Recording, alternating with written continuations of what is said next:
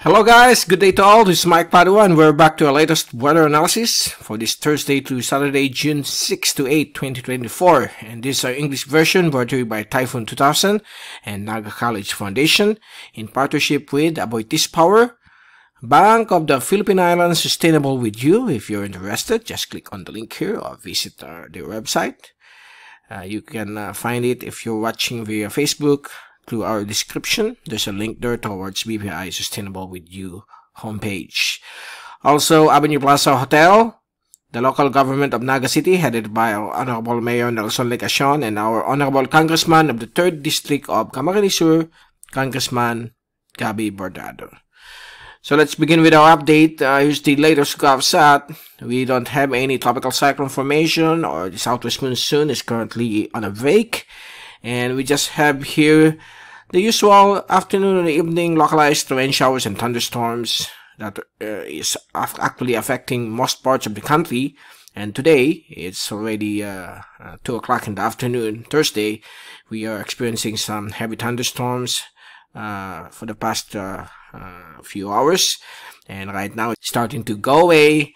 And uh, again, tomorrow we expect another round of thunderstorms, not only here in Bicol region, but all throughout the archipelago. So these are isolated, scattered ones. Elsewhere across the Philippine Sea, there's nothing to uh, discuss here, just a uh, diffused shear line here moving away. And uh, we have a surface trough trying to develop here over the vicinity of Yap and Palau. But uh, based on the computer models, there will be no development on this trough. And we have here a very weak intertropical convergence zone.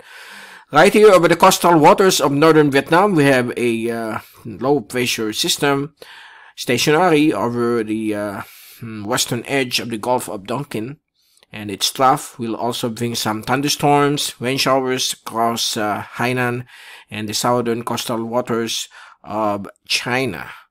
Okay, so uh, we don't have any uh, major wind system or any uh, weather system affecting the Philippine Islands except for these localized thunderstorms, also known as cumulonimbus clouds. So expect at this time of the year since we are now this, in, the, beginning of the uh, wet or rainy season we're still on the lookout for the next uh, uh, 15 to 20 days.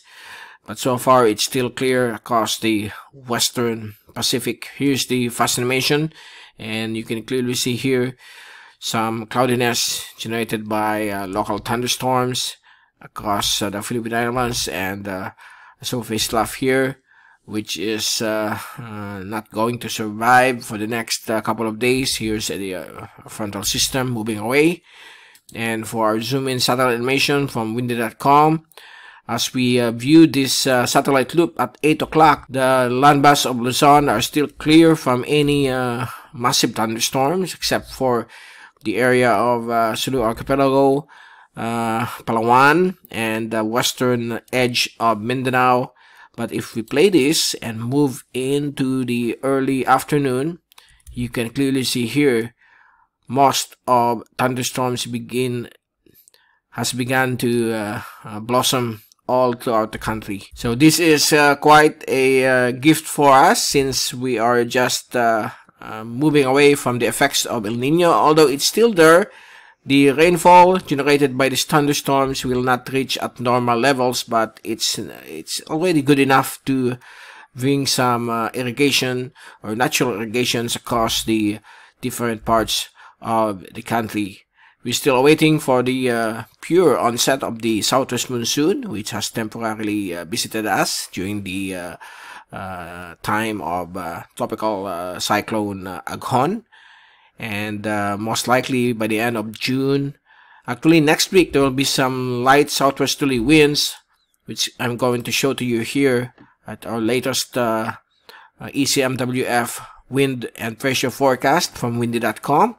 So if we move this for the next three days, okay, so th this is today, tomorrow, Saturday, uh, Friday, I mean, and uh, until uh, Saturday and Sunday, you can see now that the winds will now begin to shift from calm conditions to uh, uh, blowing from the south and then it will shift blowing to or blowing from the southwest towards the northeast. So this is now the start of the southwesterly wind flow beginning next week.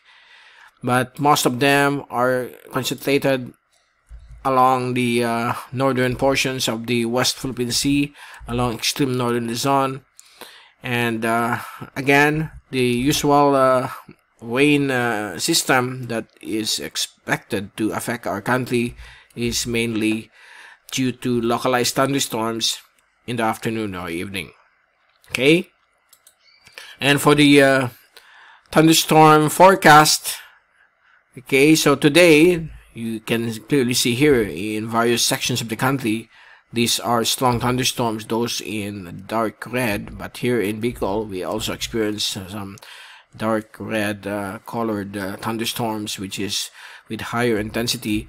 But uh, remember this is only a forecast. When the forecast say it's only light in reality it's really strong. So let's all be prepared when uh, a thunderstorm passes by in our respective areas. On Friday, we expect another thunderstorm activity in various sections of uh, Luzon, uh, parts of Bicol, Northern Samar, uh, Visayas, and Mindanao.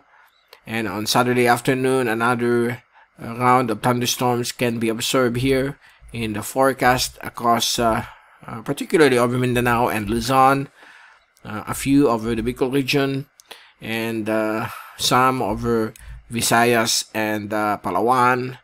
And on Sunday afternoon, another round of thunderstorms will be expected over northern Palawan, uh, northern Luzon, Mindanao, uh, while elsewhere will uh, have a lower chances of uh, thunderstorms. Okay, and if we take a look at the rainfall accumulation forecast for the next three days, almost the rest of the country will be experiencing some thunderstorms and with the lesser frequency over eastern Visayas, but most of them are occurring in all parts of the uh, Philippine Islands. Okay, so let's thank uh, God that we have this kind of rainfall at this point in time. Although we still have the uh, post effects of El Nino, but right now we are now in neutral conditions, and let's welcome this uh, rainfall that will bring natural irrigation across the archipelago.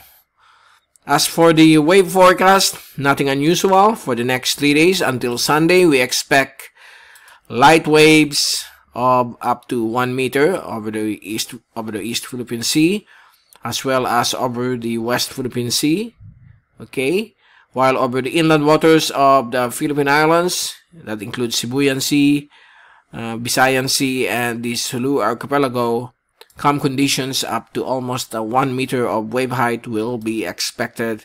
So it is extremely safe for fishing and sea travel. But take note of thunderstorms in the afternoon or evening. It may uh, bring some sudden uh, downburst of heavy rain with some gusty winds. So when there's a thunderstorms, uh, avoid going out to sea or uh, out of the field okay? Uh, just uh, stay at home or inside a shelter when uh, we encounter these uh, afternoon evening rain showers and thunderstorms particularly deadly lightning strikes. So that's the uh, forecast when it comes to the waves. Now let's take a look at the global tropics hazards outlook. From the climate prediction center of NOAA valid for the next two to three weeks wherein the third week is highly uncertain or less than 35 up down to 0% probability.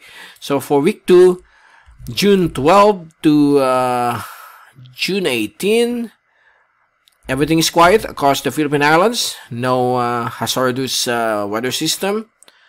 Only above average rainfall here at more than 20% uh, across uh, Taiwan, the West Philippine Sea, the southern islands of Japan, and southern China because of the ongoing uh, development of back-to-back uh, frontal systems. While on the third week, valid June 19 to June 25, this is uh, a little quite of concern, okay, because uh, there might be a uh, tropical cyclone forming from the east Philippine Sea uh, between Palau all towards the Philippine Islands. So this is only around mm, 25% in probability. And the third week uh, forecast remains highly uncertain, very low. So changes will still occur. So we will keep you updated on this situation. Okay. So 20% probability is nothing to worry about. So it might change.